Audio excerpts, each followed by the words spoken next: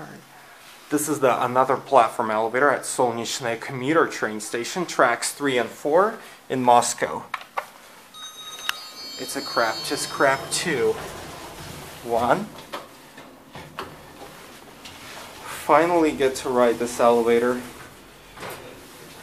Capacity 630 kilograms, 8 persons. Installed at 2016.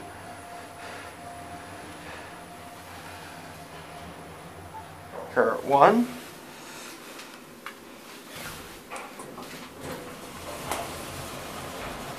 Back up to 2.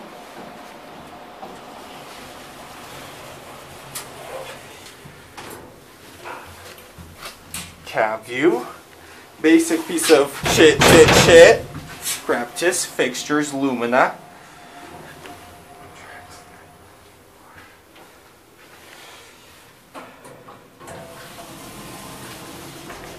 Now watch the door close. There it goes, and that's it.